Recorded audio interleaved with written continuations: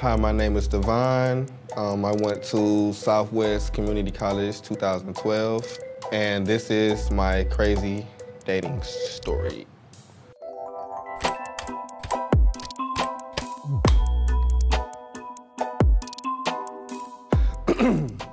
so, I met Marissa back when I was um, working part-time at the Malco movie theater. Um, she used to basically be a regular. She'd come in almost every week, even if she was to see the same movie over again. I don't know why. So one day, I finally approached her, and I just finally said something to her because um, I always used to notice her when she comes in, but I just never said anything. Back then, I was pretty shy. I built my self-confidence up right about now, but back then I was really shy, and it took a lot for me to say something to her. So I finally said something to her, and we, over the time, we got to know each other after she gave me her number. And we were together for about two years. Everything was going good, um, from dating, just hanging out, spending time with each other. Um, but during the time of dating, um, I would never come around her family. She she met a couple of my family members, but I just wouldn't come around hers because she said that hers was overprotective over her and she just didn't want her family to not accept me because that would pretty pretty much crush her. Um, but during the time that we were dating, we also agreed that we wouldn't have sex or anything of that nature until marriage. All right, so um, one day we finally decided to, I wouldn't say break the um, rule of sex before marriage, but it was to the point to where we were both ready and we knew that we both were meant for each other. So we just went on and did it. I mean, we just went on and decided to go for it, basically.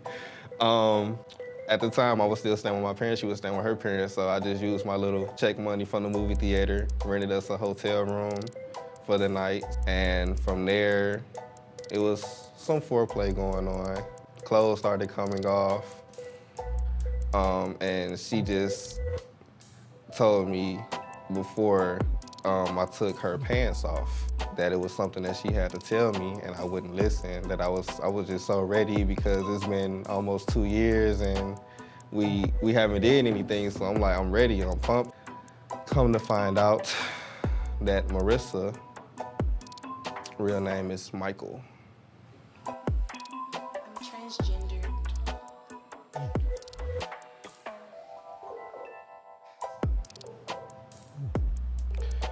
She had a penis. And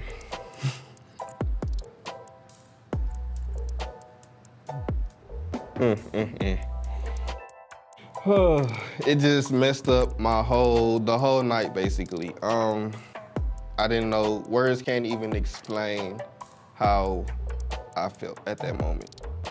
Two years man. Two i fucking loved you. Am i crying? Is my eyes watering up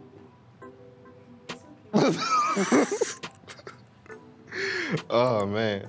From at, at, that moment, I didn't I didn't know what to say. I just I just felt so I don't know. I just felt like I was lied to. I couldn't trust anyone. It's, it's just it was just so much that to take in at one time. That the woman that I thought I loved is really a guy, and I don't know. Like I couldn't do it. That's not me. So I just had to leave. I left her there at the hotel and blocked her. I, I had no more contact with her at all. It got to the point to where she would come, still come up to the job. I had to leave the job. I put my notice in and found another job. No contact was kept at all. Like I said, she tried, but it was it was that. I just couldn't do it. And that is my crazy dating story. Uh.